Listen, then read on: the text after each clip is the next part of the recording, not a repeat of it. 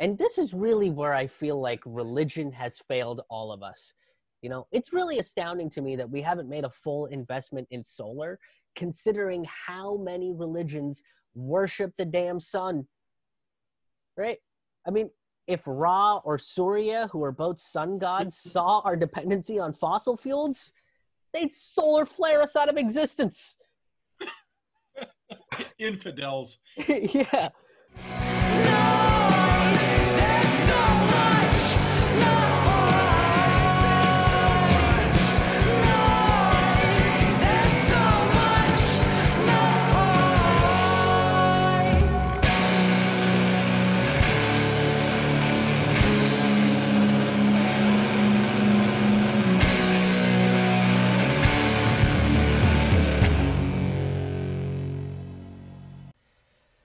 Hello, and welcome to a brand new episode of Fork Full of Noodles. I'm your host, Krish Mohan. Hey, as you might notice in this episode, you're probably going to hear some people laughing and, and, and kind of chatting in the background uh, with me th- throughout the episode, and that's because it was filmed, uh, recorded earlier in front of a live virtual stand up comedy audience. Uh, I do uh, these shows called the Citizen Revolution Live Virtual Stand Up Comedy Shows, which become episodes of Fork Full of Noodles. So if you're interested in being a part of that live virtual audience, you totally can uh, by clicking the ticket link in the description below. We are going to have a bunch of these shows throughout the year, especially because I am uh, unfortunately not able to tour and go around the country like I normally do. So I've got a bunch of these live virtual stand up comedy shows each week, brand new material. Each week, we also find a brand new grassroots organization to uh, to donate to.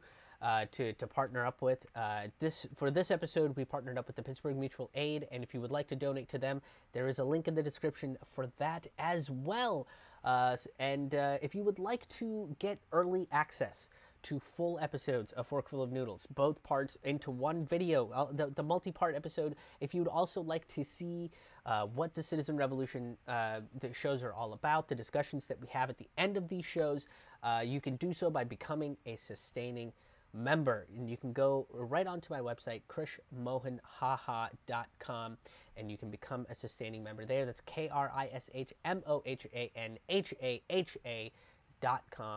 Uh, become a sustaining member. You get early access to these full episodes. You get uh, unreleased stand up comedy tracks as storytelling content. You get some bonus merch. You get early access to, to my live comedy albums when I drop those. Uh, you get a bunch of cool perks, uh, and it helps the quality and quantity of these shows to improve as well. Uh, now, thank you for, for tuning in. We're going to talk about West Virginia, you guys. West Virginia has uh, is a state that's often the butt of uh, many people's jokes for being the home of backwoods, toothless inbred hicks. Right? Some some people might even know. What, usually the jokes that come out for uh, about West Virginia. They're usually true. yeah. Been very, yeah. so some people might also know West Virginia for its country roads that will take you home whether you want to go there or not. To the place. um, we can't turn this into a karaoke show. Damn it. Look, West Virginia. I I brought this on myself. but you know, I, I guess according to John Denver, all country roads either lead to Charleston or Beckley instead of Rome. That's where they all go. but here's the thing. Here's the thing, you guys. Everything we know about West Virginia has been co-opted by corporate propaganda to push this narrative of ignorance, divide, and backwoods unimportance. Even the origins of West Virginia itself has been romanticized as this abolitionist dreamscape, right? This the story that we're told about West Virginia is that they annexed from like regular Virginia because they didn't want slavery. But in reality, it, it had nothing to do with abolition at all, but everything to do with Civil War supply lines. And there were plenty of people in the state of West Virginia that were very excited about owning people. Now, famed five dollar bill, Abraham Lincoln. Uh,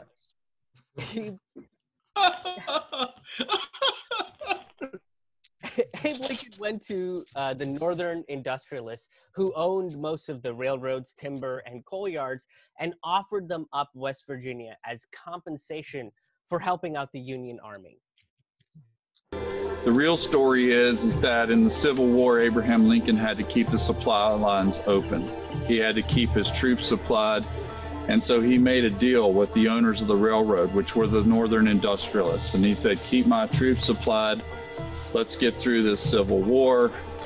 And that beautiful little piece of land known now as West Virginia will be yours. Lots of coal, lots of timber, lots of money to be made in West Virginia. And that's what happened. So in 1863, this place became what's now known as the 35th state, West Virginia. Now, Lincoln essentially sold the state out to profiteers as the state's inception, right? Really, West Virginia is the first state to become a corporation.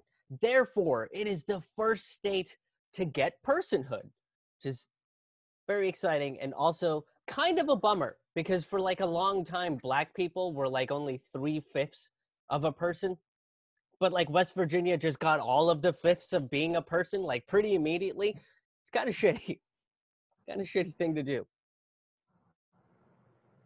But after the Civil War, West Virginia basically became the spot for the coal industry to get cheap labor.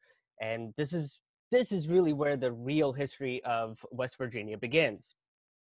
Between 1880 and 1919, the state's population went from 93,000 to 446,000. And this is because the coal companies built little towns around coal mines and needed people to occupy and work the mines. By the time Ellis Island opened up in the 1890s, the coal bosses sent out recruiters to bring immigrants into the mines. So the coal industry sent guys to places like Ellis Island, to the ports, and they would pluck us off the boats and say, Hey, you, sir, are you looking for that new life? Are you looking for work? Are you looking for everything you've ever dreamed of? Get your bags, get your family, come with us. And they put us on trains and they brought us to West Virginia. And they put us to work mining coal. Now, the recruiters promised these immigrants, you know, a new life, you know, to, to help them take care of their families. And at this point, too, there were some pretty large strikes that had taken center stage, um, and the working class were becoming far more empowered as well. Uh, so, in order to circumvent things like, you know, paying like fair wages and giving people human dignity, the coal bosses hired the immigrants that didn't have an opportunity to become part of the labor movement so they could be very easily exploited for the work. You know, this is kind of how business is done, right? This is what MBAs teach you. When you get a master's in business, this is this is like lesson 101. Step 1, hire immigrants. Step 2, exploit immigrants.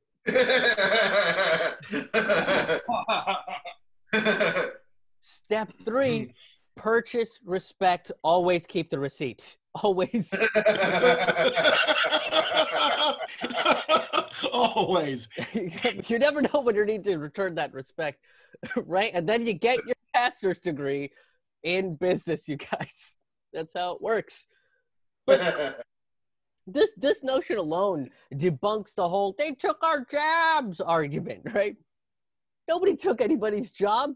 The bosses handed the, uh, these jobs to the immigrants under the guise of better lives for their families, right? The jobs were there for the taking, but the working class didn't really want any of these jobs, right? The people weren't really into the coal industry all that much. They they like did they liked the coal industry as a friend. You know what I'm saying? Like they, but they weren't ready to commit. So in a jealous rage, the coal industry decided to use immigrants against the working class.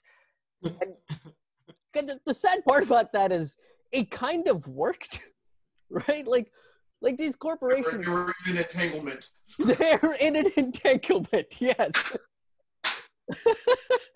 Which is a Will and Jada Pinkett Smith reference. But these corporations essentially created and benefited from anti immigrant xenophobia. Now, once these immigrants, and also they were hiring former slaves in these coal, town, coal towns as well, uh, they, they weren't paid by the hour, uh, by the hour, right? They were paid by the ton. It depended on how much ton of coal you ex- extracted from the earth. So it didn't matter how many hours you put in. But here's the real kicker they weren't paid in real dollars. They were paid in something called scrip, which was made up by the coal bosses. miners were paid in scrip. Um, oftentimes, never saw real money. And if, if the company caught you with real money, you might well lose your job or they'd put you in a bad place to work until you understood that you were supposed to deal only at the company store and such. I had some, it had some uh, uh, hard ass bosses. Had some hard bosses then. And uh, if they could put it over on you, if they can put it over on you, that'd make you do any damn thing for nothing. That guy is from uh like like he fought in the mine wars, which we're going to talk about in a in a minute. The videos that he's involved in are fucking awesome. He's a badass. But the scrip is kind of where monopoly money originated, right? Because it's basically play money.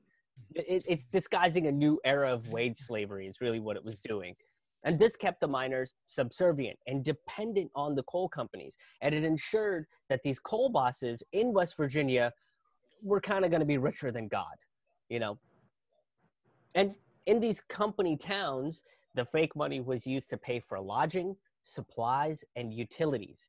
These towns were al- also primarily in non union areas in southern West Virginia.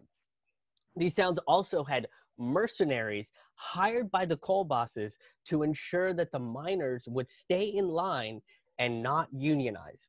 The coal bosses called these places company towns, but in reality, they were forced labor camps.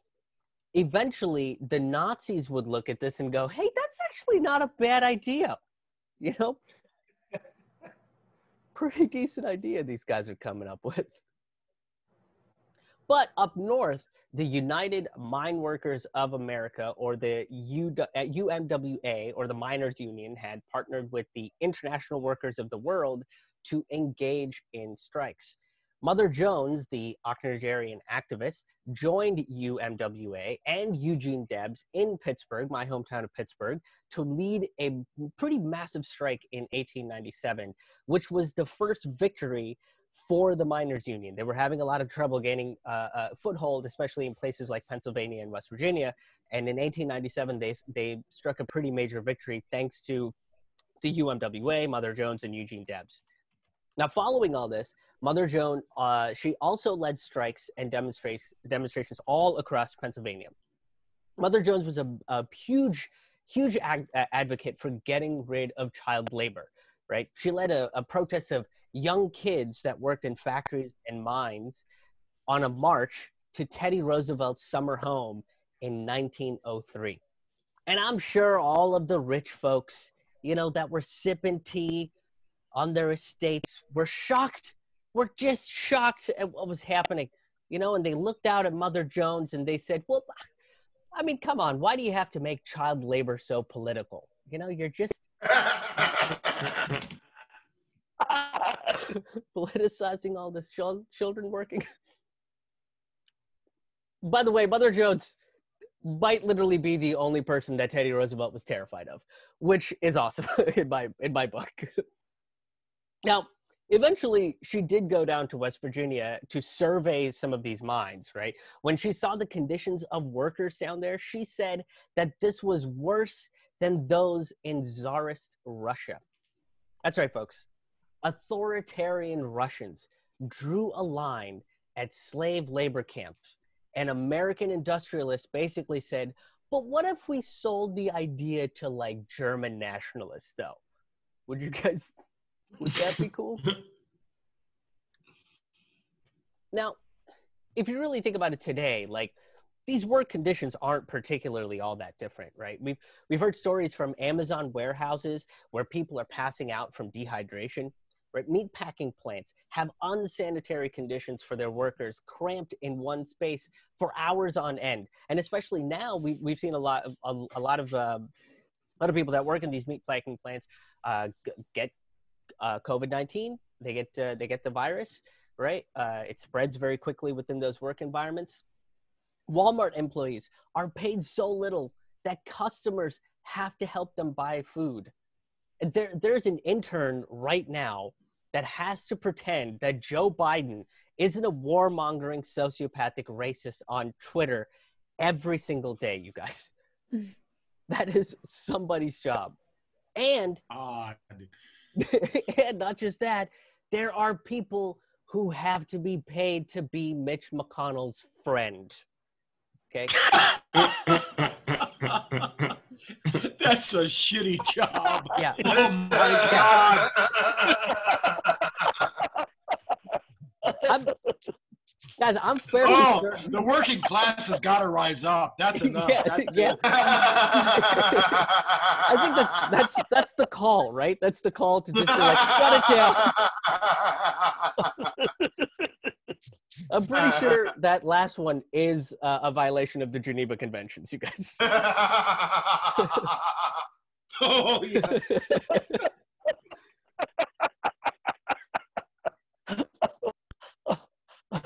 Now, in order to prevent the UMWA from gaining a foothold in West Virginia, the coal bosses came up with something called yellow dog contracts in 1907. These contracts were uh, basically said that miners were the sole employees, a term that's used very loosely in this circumstance, uh, of the coal company. And they are, by law, not allowed to join any union. And these laws, these contracts specifically called out the United Mine Workers of America and the International Workers of the World. And if they did join a union, they would be terminated and evicted from their homes by the coal companies. Boo. Yes, boo is the correct response to that. uh, in 1917, the U.S. Supreme Court made them legally binding and ensured that the unions couldn't gain any traction in the states where uh, they were using things like yellow dog contracts. Right. The provision of the coal companies were uh, to the coal companies was that you know they had to like walk the miners once a day uh, and make sure that they were going to be fed and clean up after their poopies.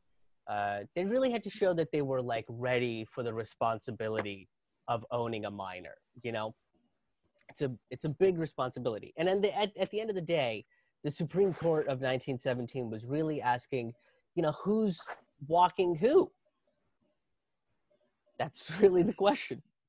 And after a series of general strikes and mass organizing, finally in 1933, the yellow dog contracts were put down like that feral, rabies ridden canine at the end of that one movie. Uh, what was it? Um, oh, yeah, Marley and Me.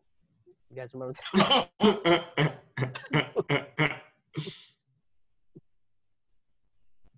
Now, these contracts, much like the scrip, were meant to keep employees in fear and subservient to the whims of the coal bosses, especially since the labor movement was getting wind of their tyranny. It made sure that these workers today wouldn't resist or strike and would be loyal, kind of like a yellow dog, right? Now, today, we don't really need yellow dog contracts because we have the burden of healthcare.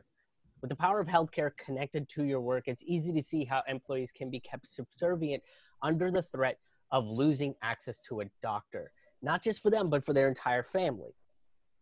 Coal miners all around the world, or, or rather, all around the country, uh, were, were basically treated less valuable than the coal that they were extracting from the mountains. Make you work unsafe or anything, wouldn't it? Oh yeah, yeah. And- no air, no air. The miner would leave before daylight, and they'd be way in the, that night before you get home. But- I've come in, I've come in, laid in the floor, maybe two, three, four hours sleep when they come in, never change, never, never take a bath. You lay down on the floor and sleep, and you get me up. Put me out the next morning, back to work again. So, fast forward to 1913. Uh, in Paint and Cabin Creek, West Virginia, the miners did go on a strike, backed by the Miners Union and Mother Jones. The miners were basically asking for union legitimacy and better wages. And by better wages, they meant like, you know, like real money instead of scrip. Now, the coal company basically freaked out and said that the union was working for a competitor uh, and was out to ruin their business. I mean, does this kind of make the coal bosses sound like crazy paranoid prospectors, right? They're just like, oh, look out, they're coming for my gold. Oh, my black gold. Oh, no. Just- They're prospectors, but they're also ghosts, you know, because this, this is from 1913. They can't, you can't expect it. So they're also prospector ghosts. So, now, as retaliation for asking for, you know, like real money and human rights, uh, the coal bosses hired the Baldwin Felts Detective Agency. And now these guys weren't as much detectives as they were like hired mercenaries, you know? Honestly, if they went by Baldwin Felts Union Hunters, it would have been way more accurate. But it would have, I'll admit, it would have kind of made them look bad, right? It kind of made them look like a bunch of assholes. Now, before it would have. But before the Yeah. SS invented, yeah, before the Nazis invented the SS, they looked at these so-called detective agencies and were like, "That's not a bad idea, you guys." Oh. Jesus Christ. but we got to upgrade. We got to upgrade our detective agency. So we're going to give them cool lightning bolts on their uniform. You know, really brand this fascism. My God.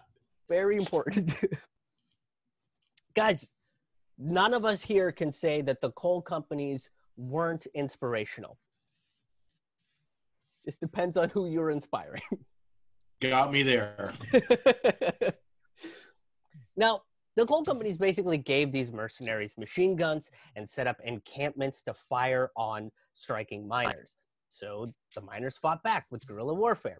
Martial law was instated three times, which was virtually unprecedented in peacetime, right? 200 strikers, including the 86 year old Mother Jones, were wa- was arrested um, by the end of the strike. And you really got to yeah, guys, you really got to watch out for those octogenarians, okay? With their frail backs and and their canes, you know, and their hard candies, which is a dental nightmare. Oh God. I mean, you say that, but Mother Jones was that bitch.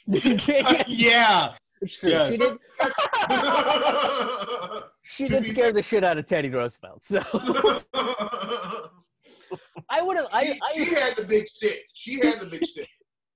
I would have I would have bet as they were arresting her, she had like some badass line like, "You think these prisons can hold me?" And they're just like, I don't know. You know?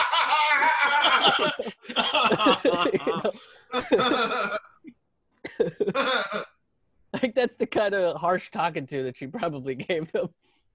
I know your I know your mother, young man. penning her a letter. now, uh, eventually, uh, the the new governor of West Virginia, Governor Hatfield, pardoned some of these strikers, right? But he kept the main organizers of the strike in prison, such as Mother Jones. Uh, and the cherry on the authoritarian cake was when he closed down every single one of the town's socialist newspapers because well, I don't know, let's just say like liberty or, like freedoms, uh, and I, I like Russia. Let's just go ahead and say those three things because that seems fair. USA. USA.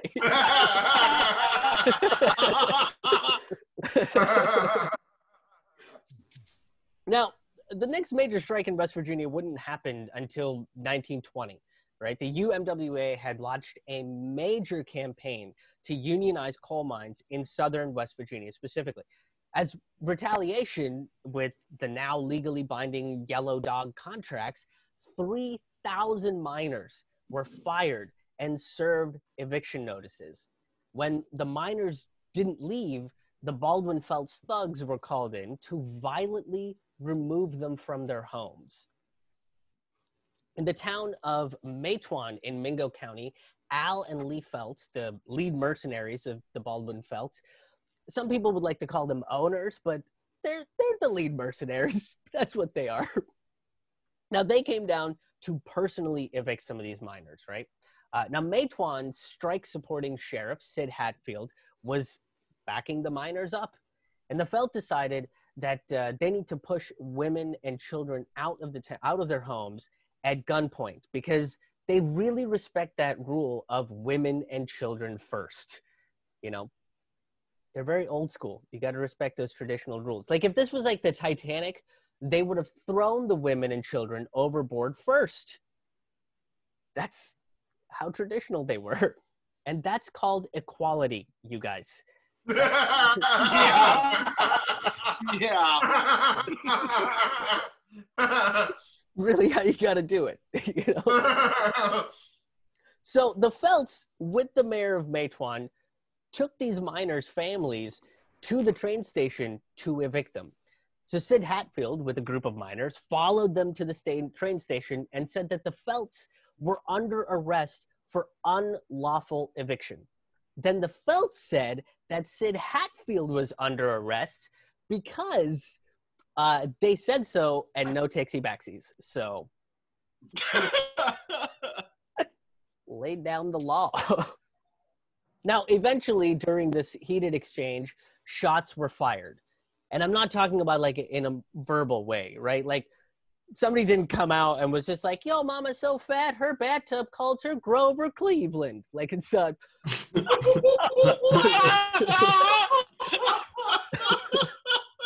hey, those are fighting words, man. yeah. By the way, I would have fucking killed it as a comedian in 1921. I would have nailed it.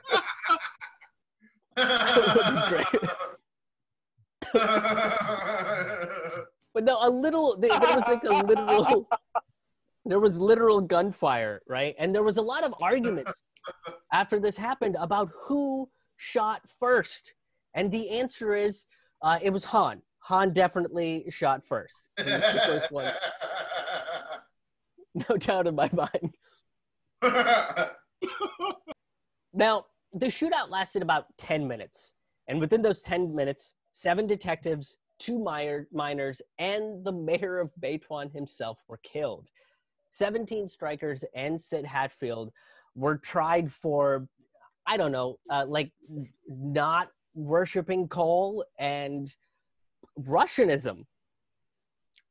I did. I do think that they meant to probably say Bolshevism, but Russianism kind of sounds scarier, doesn't it? Like, like when I said that, couldn't you just see like two bearded men with hammers and sickles, like trying to hunt down a family of bald eagles? Couldn't you just see that?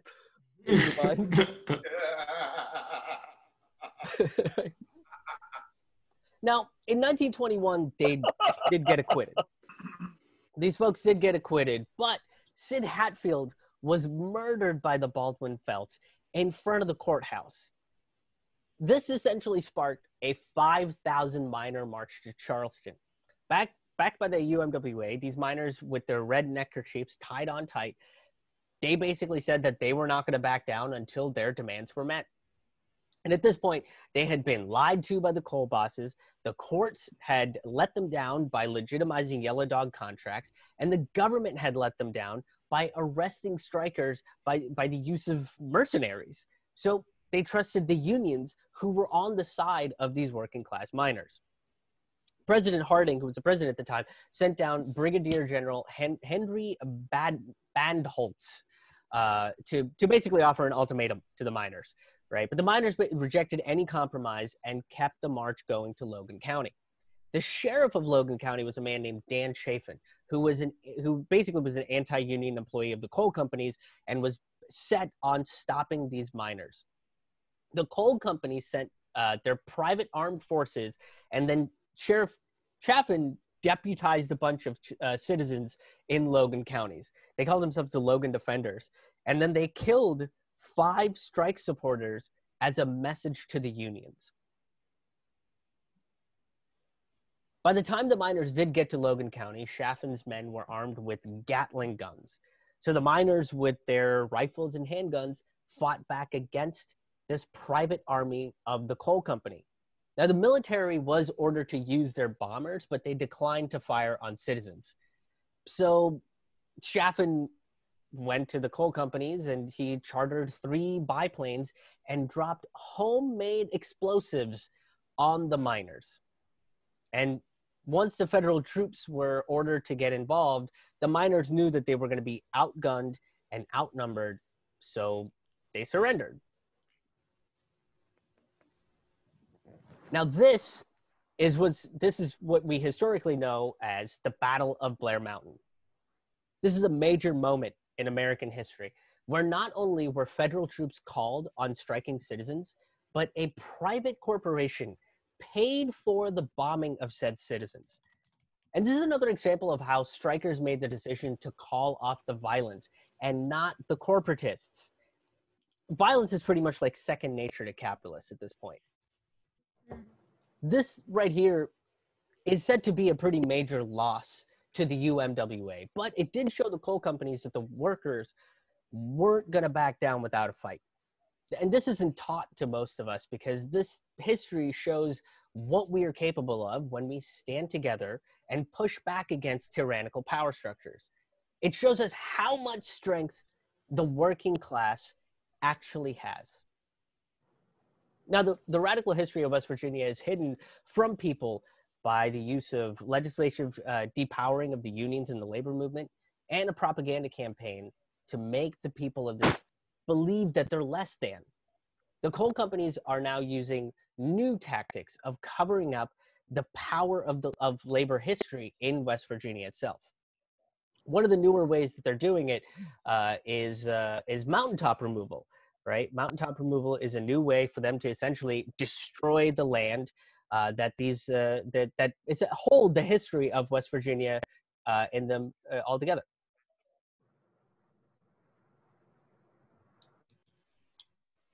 Now, mountaintop removal is exactly what it sounds like. It's removing the top of a mountain with explosives, right, to get to that nougaty, coaly center, you know? And it begs the question how many licks of a stick of dynamite does it take to get to the center of a mountaintop?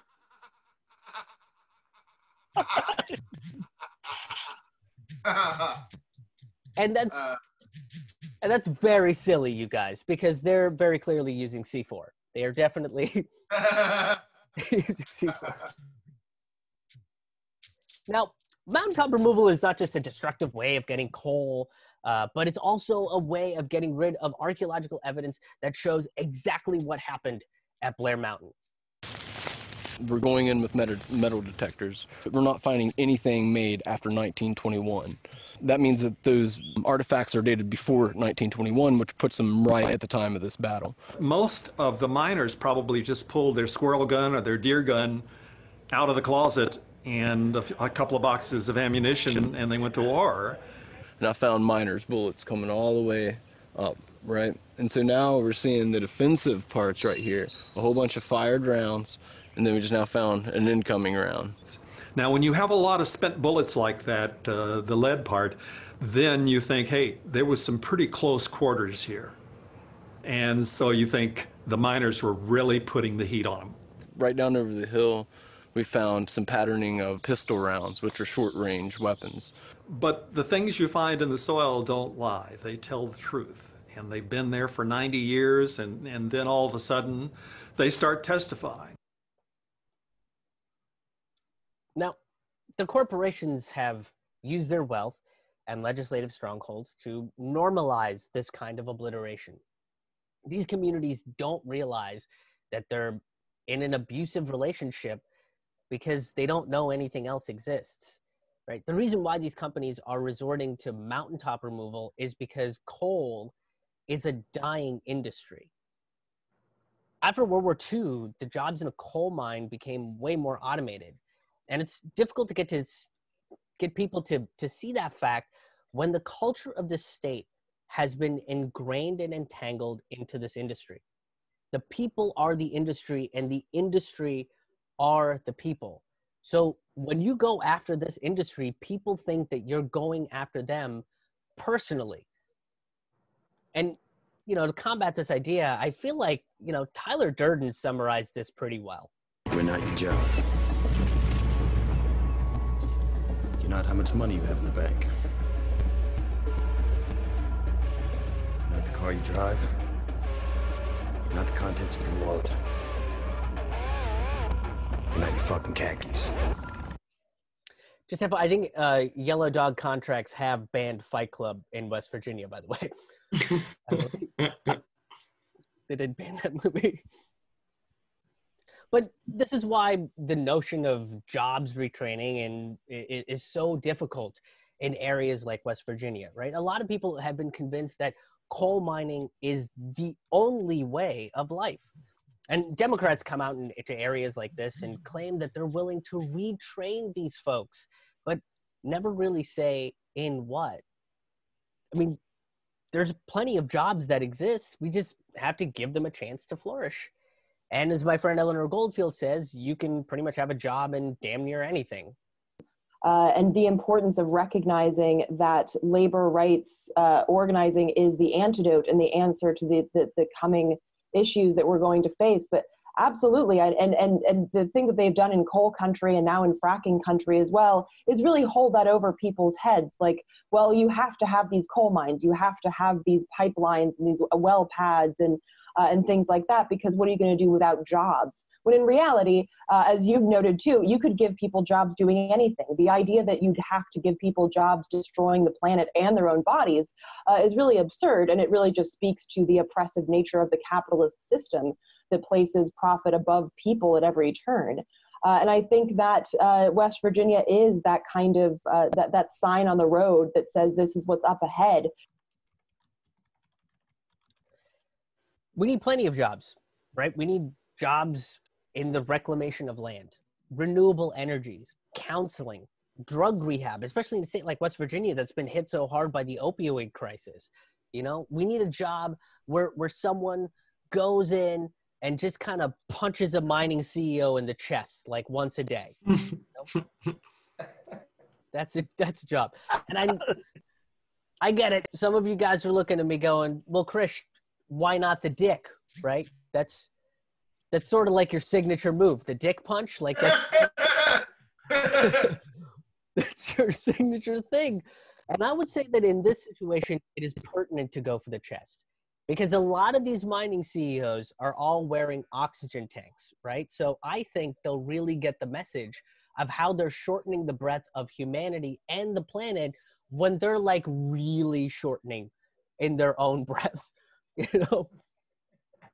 It's, uh, it's like um, it's like mixed martial arts, but just with like metaphors, but also punching. I, I like to call it mixed metaphoric arts.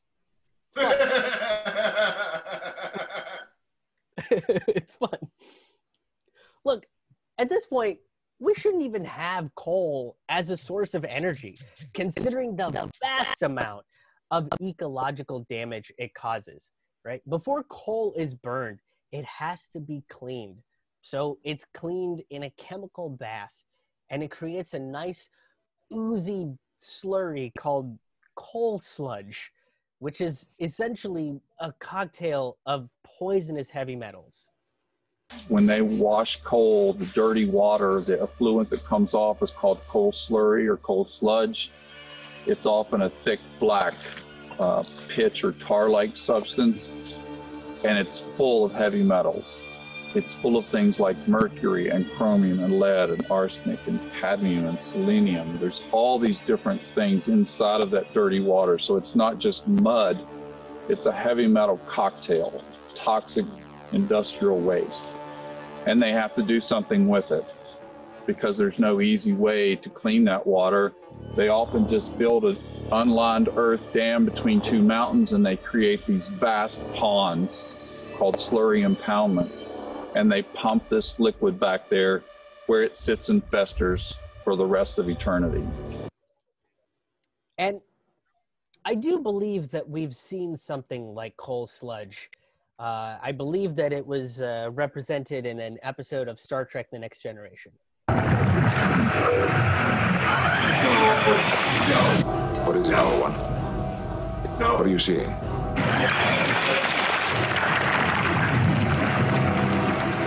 Trouble.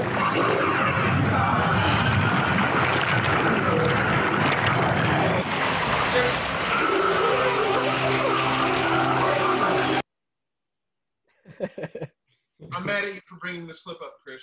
I'm, I'm, oh, no. I'm triggered. I'm triggered. No, no. We'll talk about it afterwards. Look, this. We're gonna talk after this. We're gonna... yes. Th- this this sludge can, uh, can it, it basically contaminates the water supply, right? Even the cleaners that they use to clean the sludge gets into the water supply and poisons it. And politicians approve of whatever these coal companies do and how much ever of these poisonous cleaners they want to use because they call they say that it's proprietary. For lack of a better term, MCHM is like the detergent. Okay. So the coal, is- the raw coal is put into these huge tanks, swirling around with water in this MCHM, and it separates the coal from the dirt and dust and debris because those things are not good for the burners at the power plant. They clog the jets and other Okay. stuff. The interesting thing about this uh, water crisis, as they call it, was this chemical leaks into the water. Um, they downplayed it for one. For two, the very first thing that the governor said when he came on the news was, I just need everyone to know this had nothing to do with coal. So the campaign to protect coal started as soon as the crisis started. They would never tell us what was in it. They would never tell us what was uh, safe levels. There were people going to the emergency room with nosebleeds and respiratory distress and all manners of things. In the end of the day, they gave us some number and said this is the safe level and we're we're well below that. We don't need to worry. Well, it turns out they just made that number up.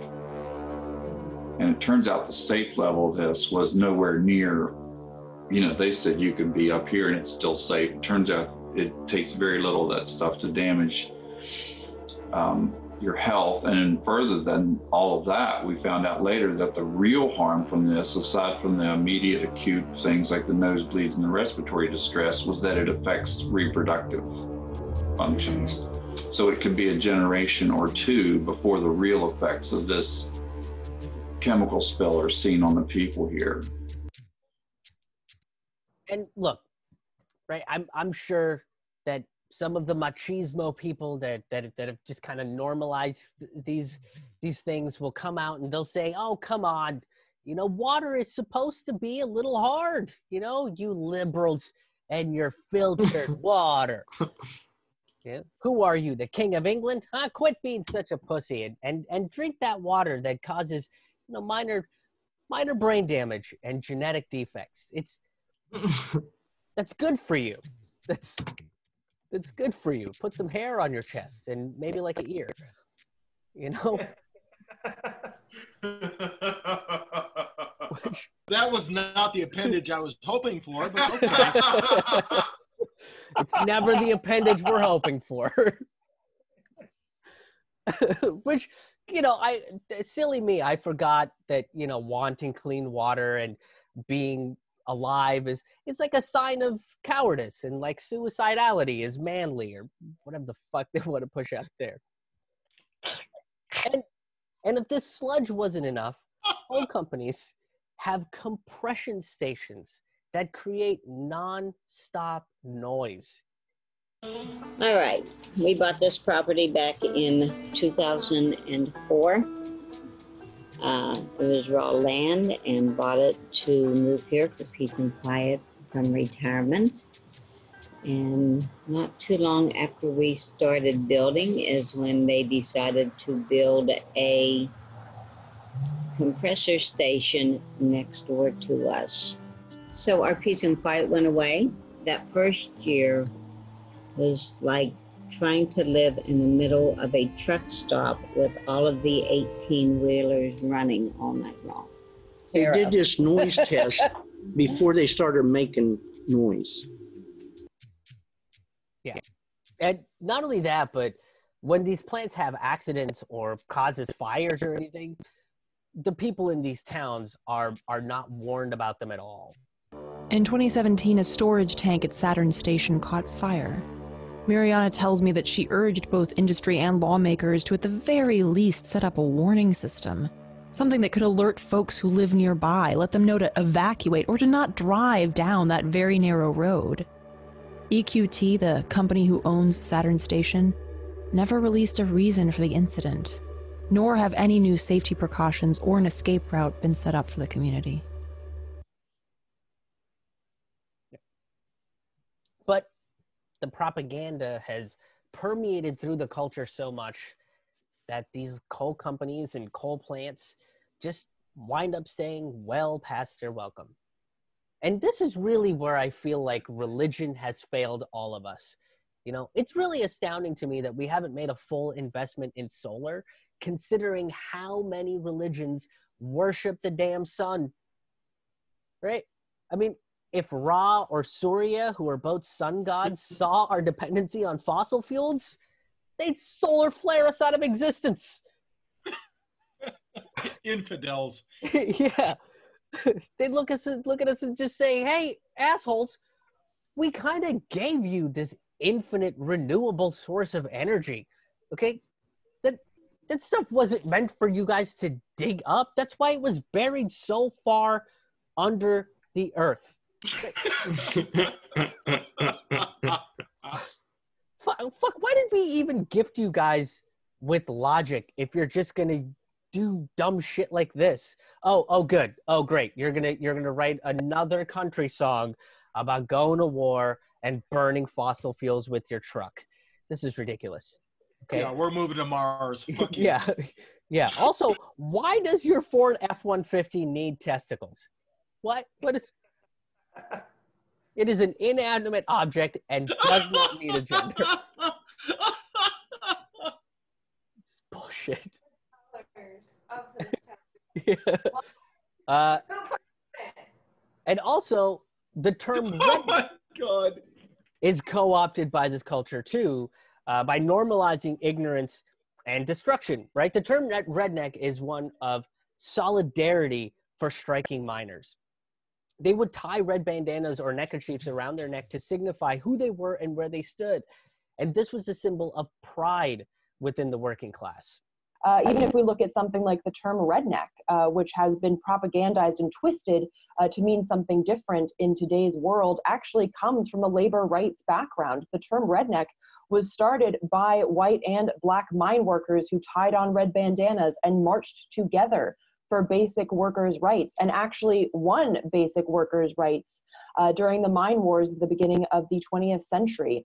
So it's really important to uh, to to bring back this radical history and let it guide uh, as we build and organize into in our present day.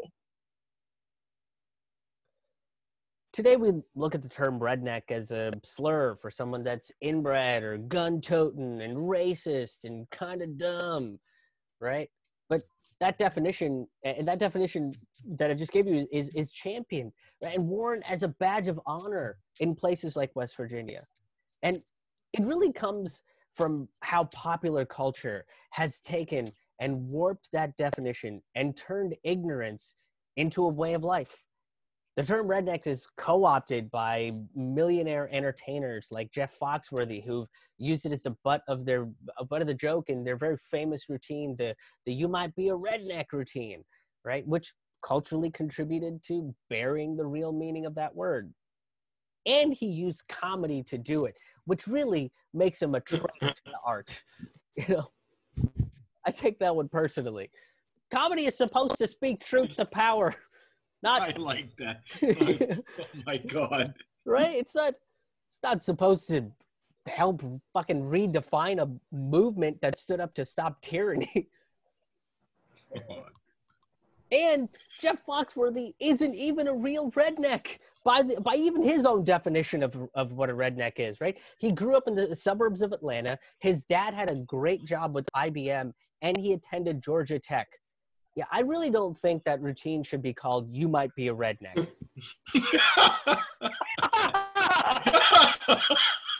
no. Yeah, Ron, Ron White is the only real one of that bunch. He really that is. is true. He is really the only real one of that The bunch. real one of that bunch. If Jeff Foxworthy was going to be more honest about it, he would he would change the name of that bit to "You might be privileged."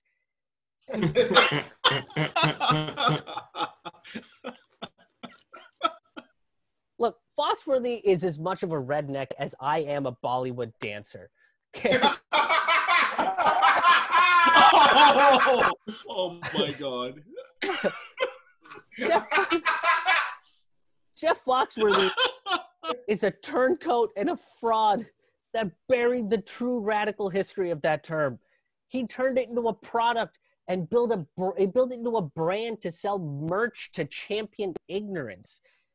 People like Jeff Foxworthy, Garth Brooks, Toby Keith are all profiting from warping the reality and telling people to take pride in their anti-intellectualism. Now, mix that pop culture in with some of the political propaganda that's out there, and you get things like the Friends of Coal.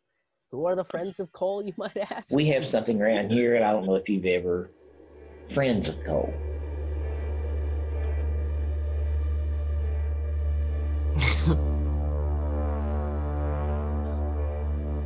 Anybody in their right mind ought to go and look at who set that up.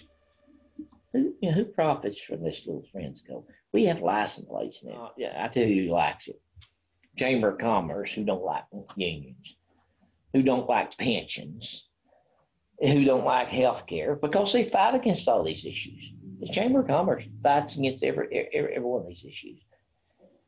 You have the coal vendors who profit from selling to these companies, you know. That, they understand what friends of coal means. Uh, you have your politicians who are owned by the coal companies. They understand what it means. They're the ones that help got all get gets all the shit passed, you know. So the, the people that really profit from it understands what Friends of Coal is. If you if you live in West Virginia and write propaganda against unions, pensions, Medicare for all, and convince the people to give up their land for the destruction of nature, then you might be a friend of coal.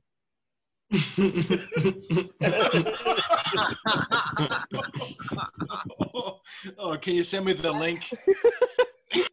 that one segment is better than all of Jeff Foxworthy's Friend- Mm-hmm. And I've noticed two kinds of vehicles that have those license plates on.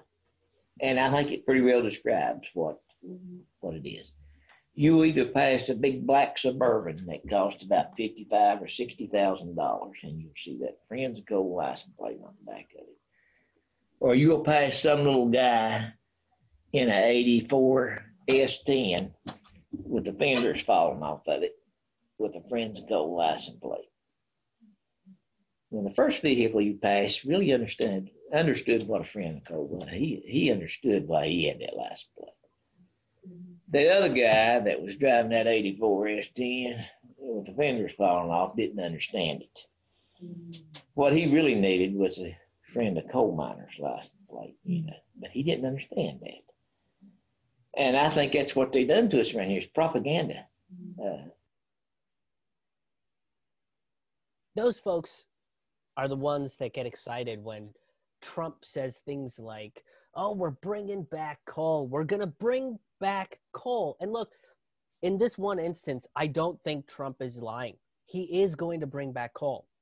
By continuing to pump propaganda for these tree killers, we might fund our own extinction. So, in a few million years, our fossilized remains can turn into coal, you know, like for a society that's moved on from this destructive fuel source and is now using a combination of solar and wind and looks at our era as the dark ages. So, in that way, you know, he's not lying. he is going to make more coal, just not for us. The positive in all this, though, is that in the last few years, there have been a bunch of coal companies going completely bankrupt. The coal company Black Jewel went bankrupt in 2019 and owed miners a back pay of $6,000 each. And they were in clear violation of the WARN Act, which claims that a company must give 60 day written, uh, a 60 day written warning about mass layoffs.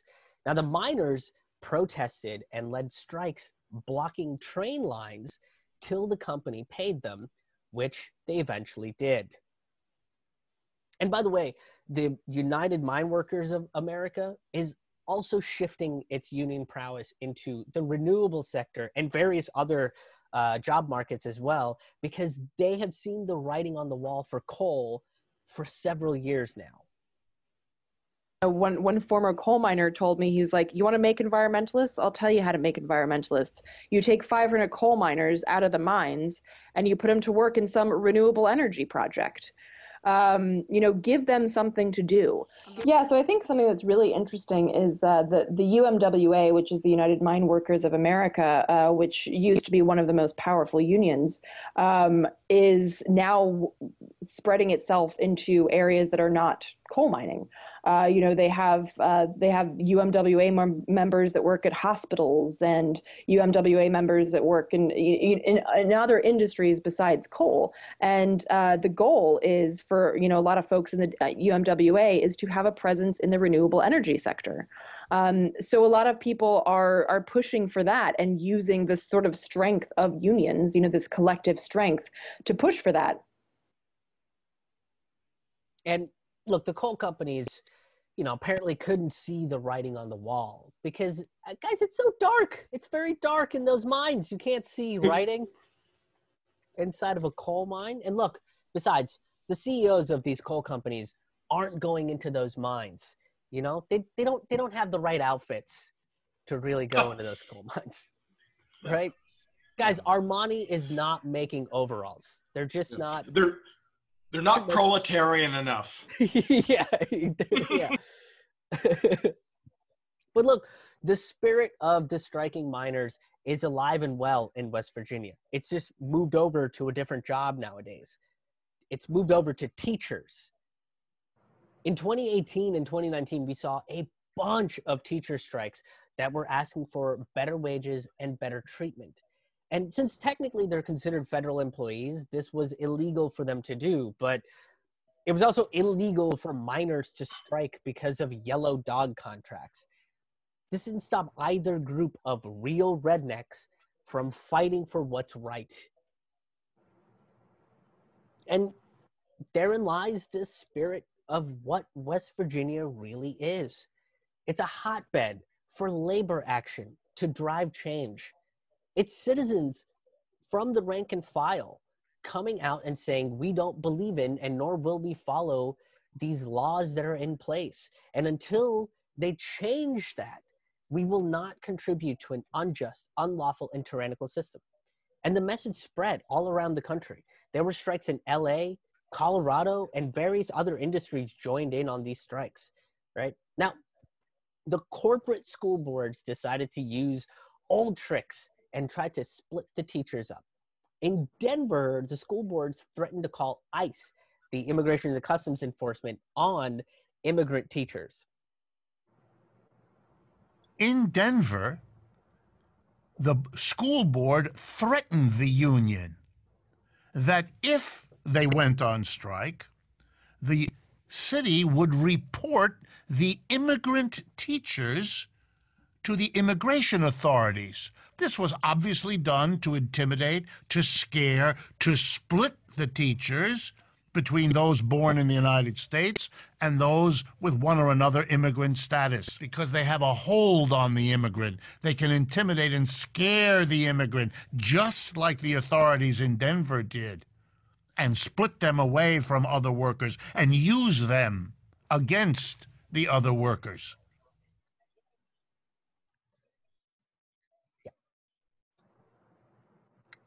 And this goes to show how much corporations are willing to manipulate immigrants to get their way, just like the coal bosses did back in the 1890s, right? This is the, basically the school board saying that the immigrant teachers belong to them and not in solidarity with the unions. But it did not work. Look, the people in West Virginia are are seen as this new definition of the redneck, right? The inbred dumb backwoods hick that's ready to turn everything into an explosive. But, but that doesn't really sound like a redneck to me, right? It kind of sounds like an imperialist to me. You know?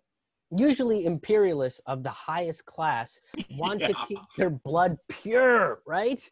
Which leads to a lot of inbreeding. You know, they're always just like, Chuck, this is your cousin Tiffany, and you are to be wed to make sure that our lineage stays as pure as the rice we eat. Oh, oh my God. Oh, stop. Stop. Purity is our power, genetic abnormalities is our gift.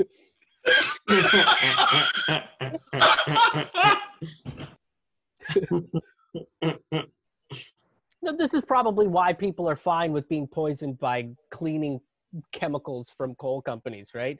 And you can kind of see this unintelligence in the way every one of our politicians talks and whenever they open their mouth, right? The fuck, the Democratic Party frontrunner struggles to finish a basic sentence without saying something racist, you know? and the imperialists, they always want to turn something into a bomb. You know, people are like, hey, look, we created a new way of transporting people long distances and we're calling it an airplane. And the Imperials were like, well, this is great. We love this.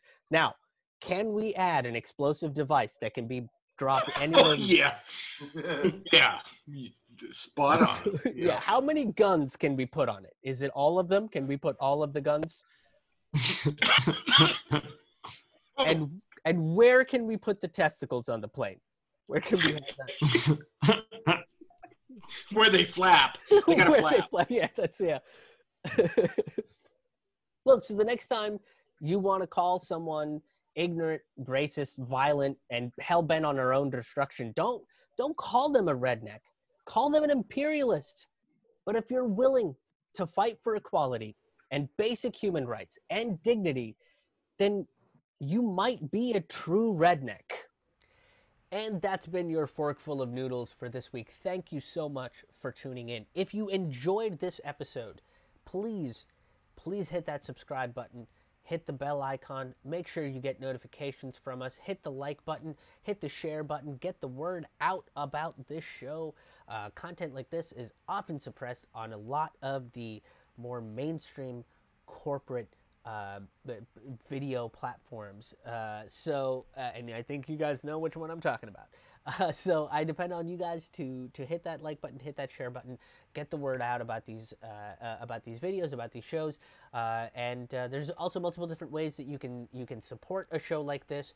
Uh, if you listen to the audio version of this show, you can write a review. If you listen to the video version, you can leave a comment. All of that stuff helps it get get seen by more people. Um, but one of the things um, that you can do to financially contribute is either make a one-time donation or become a sustaining member. Uh, sustaining members get uh, early access to full episodes of Fork Full of Noodles. You get early access to albums. You get unreleased stand-up comedy and storytelling material. Uh, you get a bunch of cool stuff uh, every single week delivered directly into either your email or on the Patreon page. Various different ways where you can become a sustaining member. You can become a sustaining member uh, uh, on on Patreon, on PayPal, on directly on my website itself. Uh, you can become a sustaining member on on Bandcamp. Various different ways that you can do it. Uh, this just helps shows like this grow, and uh, uh, it, it just makes the uh, quality and quantity of the show get better and better. Uh, I'm going to be doing a bunch of these uh, these live virtual stand-up comedy shows, uh, as I mentioned at the top of the show. So uh, go to my website and uh, and check out when the next one is, especially if you want to be a part of the live virtual stand-up comedy audience. Go to krishmohanhaha.com. That's K R I S H M O H A N H A H A dot com to check out all of the the, the, the live virtual stand up comedy dates, the uh, sustaining memberships. My album is available on, on my website as well. There's a bunch of cool shit on there. Uh, we're we're, we're going to be throwing up a bunch of videos on this channel. Um, various different kinds of videos, videos like Fork Full of Noodles, more current events related videos, more looser, ranty videos uh, as well. So there's a ton of content that comes out on this channel. Uh, we have, we're going to have some interviews that are going to be coming out as well. So uh, stay tuned. Make sure you're subscribed. Make sure you're getting notifications. Uh, until the next one, thanks for tuning